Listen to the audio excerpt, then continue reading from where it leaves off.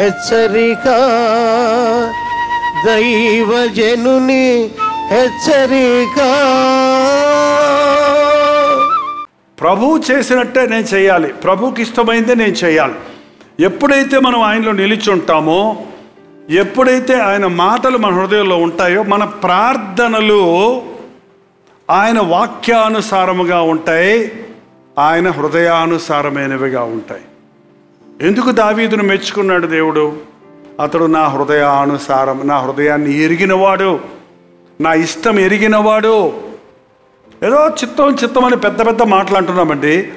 మనం ఒకరి భార్య భర్తలు ఉంటారు? ఉన్నారా భార్య భర్తలు ఇక్కడ? ఉన్నారా? ఉన్నారా? మీ భార్యకి ఏది ఇష్టం మీకు తెలుసా? భర్తకి ఏది ఇష్టం తెలుసమ్మా? ఇష్టం లేదేంటో తెలుసా? తెలుసా? మీ సంసారం చక్కగా పచ్చగా ఉండాలంటే ఆయనకి ఇష్టం లేని నువ్వు చేయాలి. నీకు ఇష్టం లేని ఆయన చేయాలి. ఇక ఎట్లా ఉంటుంది చెప్పండి? కుక్క పిల్లి కుటుంబంలాగా ఉంటుంది. నీ ఇష్టాన్ని ఆయన కోసం వదిలిపెట్టి ఆమె ఇష్టాన్ని నీ కోసం వదిలిపెడితే ఎలా ఉంటుంది చెప్పండి? అది దేవునితో మన ఇష్టాలు కొన్ని ఉంటాయి. భూ సంబంధంగా ఈ తోలు ఈ చర్మము కోరుకునేవి చాలా ఉన్నాయి. తినటం నిద్రపోవటం ఆడంబరాలు పొగడ్తలు ఇవన్నీ కోరుకుంటాం మనం. మానవ స్వభావం కోరుకునే ఇష్టాలు వేరు. దైవికమైన ఇష్టాలు వేరు. మనం దేవుని బిడ్డలమైన తర్వాత శరీరముతో ఆత్మ కార్య ఆత్మతో శరీర కార్యాలను జయించాలి కానీ శరీరం ఆత్మకార్యాలను తీసేటట్టు ఉండకూడదు. దేవునితో నిలిచి ఉన్నవాడు నేను క్రీస్తుతో పాటు సిలువైబడి ఉన్నాను. ఇక నువ్వు జీవించిన వాడను నేను కాదు. ఆయనే నా ఎందుకు జీవిస్తున్నాను అప్పుడు మన ప్రార్థన అండి. గించుకున్నావా కేకలేసి చేసావా? గంటలు గంటలు చేసావా అనేది కాదు. నీవు దేవుని మనస్సును ఎరిగి దేవుని చిత్తాన్ని ఎరిగి దేవుని వాక్యానుసారంగా చేసినవి నీకు ఏది ఇష్టమో అడగండి. అది మీకు నేను ఇస్తానన్నాడు. నీకు ఏది ఇష్టమో అడగండి. ఇస్తాను అని ప్రభు అన్నాడు అనుకోండి ఒకవేళ. లోకంలోకి వెళ్ళి అందరి దగ్గర మీ దగ్గరే. మీకేది ఇష్టమో అడగండి ఇచ్చేస్తాను అన్నాడు అనుకోండి ఏం అడుగుతారు చెప్పండి? ఓ సారా దగ్గరికి నీకు ఏది ఇష్టమో అడగరా ఇచ్చేస్తాను అన్నాడు అనుకోండి దేవుడు ఏం అడుగుతాడు చెప్పండి? నాలుగు బాటలు ఇప్పించావా ప్రభా? ఏంటండి? అరే మారు మనిషి పొందినోడికి ఏది ఇష్టమో అడగరా అడగవయ్యా అంటే నాకు ఇన్ని డబ్బులు ఇప్పించవా అంటాడు ఆ డబ్బులు తీసుకొని ఏం చేస్తాడు? అందుకే ఇవ్వడు దేవుడు? రక్షించబడకుండా నువ్వు అలాంటి వాటిని అడిగితే నాకు మంచి ఆరోగ్యం దయచే నాకు అందం దయచే నాకు జ్ఞానం దయచే అని నీ హృదయం దేవునికి ఇవ్వకుండా నీవు అడిగితే దేవుడు నీకు ఇది ఇచ్చి అది ఇచ్చినా ఇంకా ఇంకా ఈయన అడిగితే దాన్ని తీసుకెళ్ళి ఏం చేస్తున్నావు నువ్వు? పాపానికి వాడుతున్నావు. అందుకే ప్రభువులో నిలిచి ఉండండి అప్పుడు మీరు బహుగా ఫలిస్తారు ప్రభువులో నిలిచి ఉండాలి. దేవుని దేవుని కొరకు నిలబడిన వారు ఉండాలి మనం. భక్తిలో స్థిరత ఉండాలండి. అవసరమైతే పైకి వెళ్ళాలి కానీ కిందకు మాత్రం ఎట్టి స్థితిలో దిగజారకూడదు. మన ప్రార్థనా జీవితం కానీ మన విశ్వాస జీవితం కానీ మన భక్తి జీవితం కానీ మనం క్రీస్తు మీద ఉన్న ప్రేమ విషయం కానీ వాక్యం కొరకున్న ఆకలి కానీ దేవుని మందిరం కొరకున్నటువంటి ఆతృత కానీ దేవుని సన్నిధి కొరకున్న ఆశ కానీ తరగకూడదు. ఒకసారి మిమ్మల్ని మీరే పరిశీలించుకోండి. నిజంగానే మీరు భక్తిలో స్థిరంగా ఉన్నారా? ప్రభువులో నిలిచి ఉన్నారా? వ్యక్తిగత ప్రార్థన ఉందా? ఎప్పుడు దేవుని మనస్సు కలిగి ఉన్నారా? దేవుడు ఏమనుకుంటాడో? దేవుని బాధ పెడతాడేమో? దేవుని చిత్తం కాదేమో? ఈ దేవునికి ఆయాసం కలుగు చేసేది? ఈ దేవునికి ఇష్టం లేనిది? అని ఏమైనా మీ మనస్సాక్షి హెచ్చరిస్తూ అనుభవాలు ఉన్నాయా?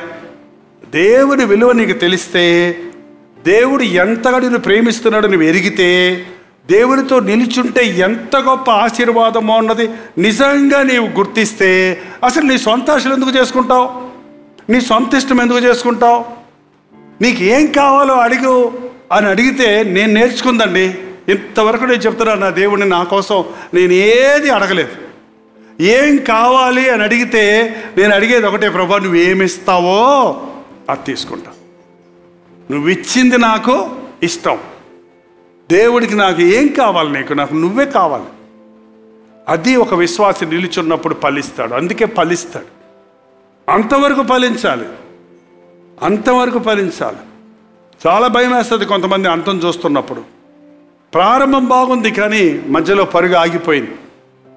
ప్రారంభం బాగుంది కానీ అంతం లోహంలో కలిసిపోయింది. కలి కలుషితం అయిపోతుంది అందుకే మనం అంతం వరకు సహించేవాడు రక్షించబడతారు ప్రార్థన. పరిశుద్ధుడా ప్రేమగల తండ్రి మరోసారి నీ పాదముల దగ్గర నిలబడున్నామయ్యా మా హృదయాలు నీ సన్నిధిలో కుమ్మరిస్తున్నామయ్యా. నీలో నిలిచి ఉండి ఫలించే వారిగా మమ్మల్ని చేయనాయనా నీతో సహవాసం చేసే అనుభవం మాకు దయచేయ ప్రభా. వారమంతా బ్రతుకంతా ట్వంటీ ఫోర్ బై సెవెన్.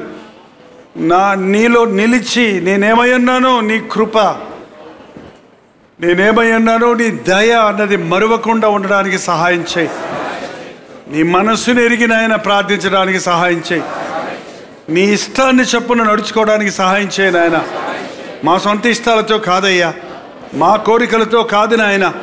నీ చిత్తములో మా జీవితాలు కట్టుకోవడానికి మా కుటుంబాలు కట్టుకోవడానికి ఈ లోకంలో నీ సాక్షులుగా బ్రతకడానికి సహాయం చేయి. ఈ ప్రార్థన ముగిసిన నీతో మాట్లాడుకునే అనుభవాన్ని నీతో సహవాసం చేసే అనుభవాన్ని మాకు అనుగ్రహించమని యేసు క్రీస్తు నామములో అడుగుచున్నాము తండ్రి. తండ్రి అయిన దేవుని యొక్క ప్రేమయు కుమారుడైన క్రీస్తు యొక్క కృపయు ఆదరణకర్త అయిన పరిశుద్ధాత్మ యొక్క సహవాసము కూడి వచ్చిన మనందరికీ ఇప్పుడును సదాకాలం తోడై ఉండును గాక ఆమెన్ ఆమెన్. ఆమెన్ క్రీస్తు సైన్యమై సమైక్యమై రంగమందు దూకుదా.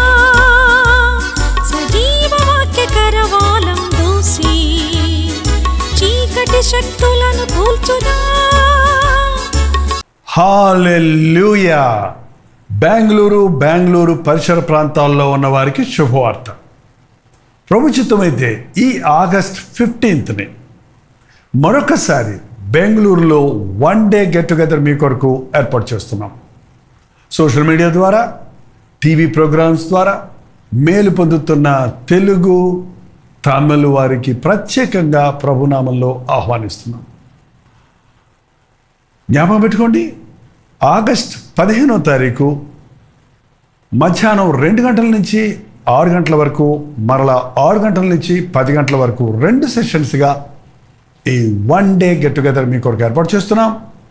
రండి పాల్గొనండి దేవుని వాక్యాన్ని ఆలకించండి ఆరాధించండి ముఖాముఖిగా మిమ్మల్ని చూడడానికి మీకోసం ప్రార్థన చేయడానికి కూడా అవకాశాన్ని కలుగు చేయండి చిరునామా గమనించండి. Gundurao auditorium near Mantri mall Seshadripuram Bengaluru. మధ్యాహ్నం రెండు గంటలకి మరల సాయంకాలం ఆరు గంటలకి. రాగలిగిన వారు రెండు సెషన్స్కి రండి.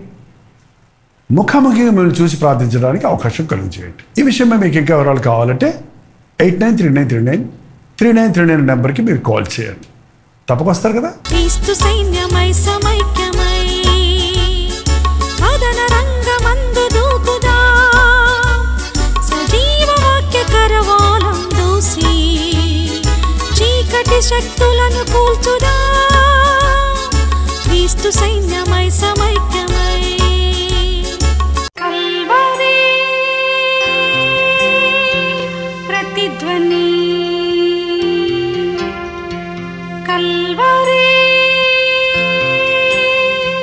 प्रतिध्वनि।